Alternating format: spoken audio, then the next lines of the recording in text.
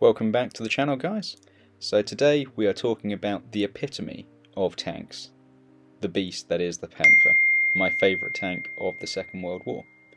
If you haven't already, please like and subscribe, but other than that, let's get into it.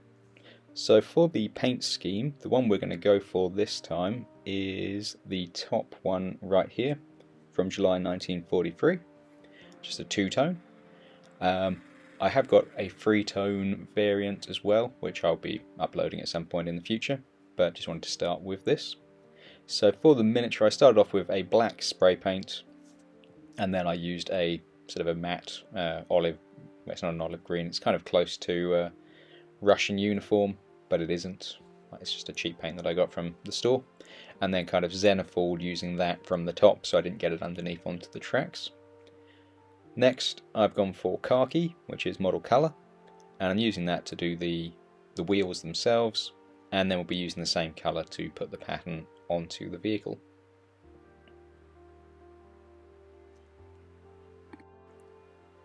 So, I don't know about you guys, but I find actually painting on the patterns to be quite relaxing, unlike the uh, the white belts and straps on the uh, British troops from the Napoleonic period. Uh, I mean, with camouflage, for the most part, it's there to try and break up the pattern of a vehicle, um, either to replicate the sunlight coming through trees, or also just in the distance so that the vehicle blends in more with the surrounding terrain. So you don't actually need to be that perfect when you're painting them. So even if you don't consider yourself the best painter in the world, I mean, I know I'm not one of the best painters in the world, so it suits me quite nicely. Uh, but through a lot of the texts and first-hand accounts that I've read and heard of, uh, when it came to the paint schemes, there were more or less uh, patterns that were designed, but as the war progressed, as paint became scarcer, um, when they were coming out of factories, it tended to be spray painted on.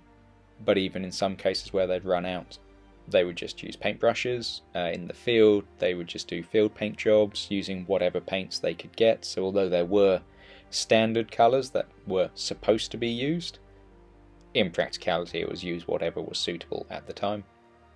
So that gives us as painters quite a scope that it doesn't matter if we don't use the exact colour, it doesn't matter, um, which is quite nice. And same for the actual pattern scheme themselves. Again, if you want to be absolutely perfect, then you can you can delve into all of the details and find um, historical paint uh, paintings, photos, sorry, and you can paint it up to be immaculately identical to a real world vehicle. However, if you're looking more for speed of getting your army on the table, then you can just do what looks good and what looks reasonable, and that's what these are for me. Uh, these aren't going to be showpiece miniatures, they're just tabletop miniatures. Now after that, the tracks, I like to paint them in the sort of dark chocolate brown colour. I know some people say, I'll oh, paint them black, paint them silver, um, but I find the dark brown is a good base coat for them. I mean, how often do you see tracks that are black or fully silver? Very rarely. They tend to be a dark-ish colour, where they're usually caked in a bit of grime. And then you'll see chinks where they've chipped uh, little bits of silver showing through, or steel showing through, I should say, not silver. Um, and again, depending on the location, they'll either be caked in mud if it's a very wet season, or if they're in a more arid, then it's going to be covered in dust. So I find the dark brown is quite a good base, and then we'll build up with a, a lighter dry brush later.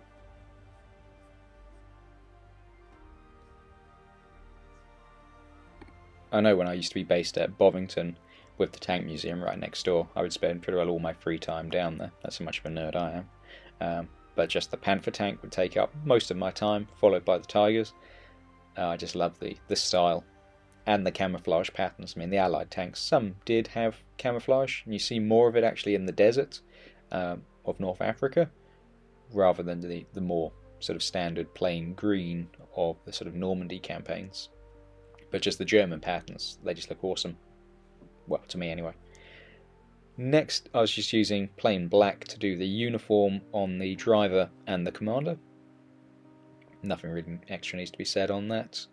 Again, these miniatures, they do have quite a bit of detail, so if you wanted to, you could go in and you could actually, and you had a steady enough hand, you could paint in all of the, the piping around the edges of the uh, the collar tabs, and you could really make them good.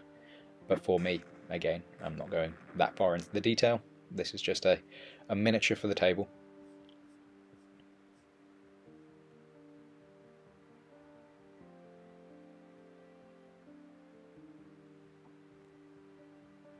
I think it was on one of Mark Felton's uh, videos recently. They were talking about vehicles that had been seen in the Ukraine conflict, and they've dragged out, or this was actually last year, but they dragged out a few of the old tanks from some of their museums, and so people had seen Panther tanks, and I think there was Panzer IV actually on the battlefield, not being used but more as roadblocks, which is quite interesting.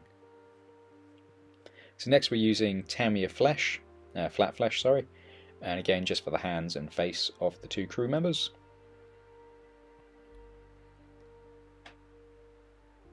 Yeah, I have found, as said in some of the other videos, this paint does go a bit, bit glumpy, um, just after a few, few moments of being exposed to the air. However, if you add a little bit of flow improver, um, it seems to do the trick and allow it to not get lumpy and not be pulled off by the paintbrush. So, little tip there.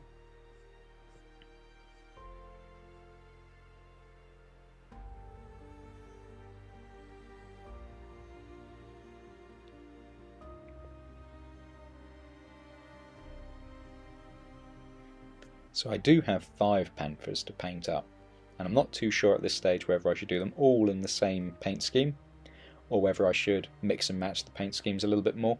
Um, any ideas on that, just let me know in the comments below.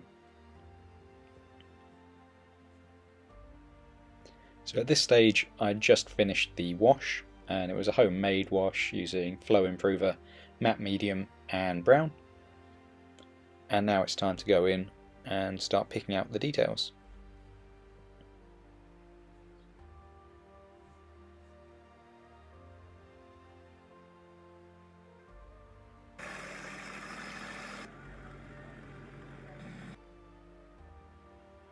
For the exhausts, pardon me, I went for a bit of a mix, so I used black, silver and bronze, just to try and get that slightly sort of rusty appearance that you often see on exhaust pipes that have been used for a long time. Usually the paint sort of burns off and you are just left with that sort of rough, rough look.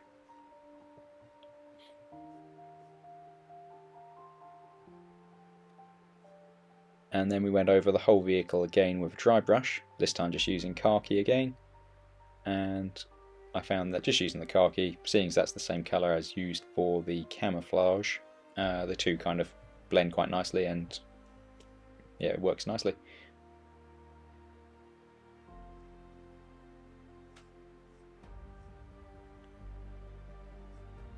One thing I did miss was I did use leather brown for the wooden uh, tool handles.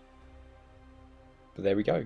So overall, it was actually, I think, it took about 20 minutes to paint the tank, so a little bit longer than the Shermans from previous week, uh, but that's because you've got patterns to do. But overall, nice, quick, easy, tabletop standard, and I'm happy with it. So can't wait to actually get another game in. Anyway, thanks for watching guys. Please like, subscribe, leave comments below, and I'll see you next time.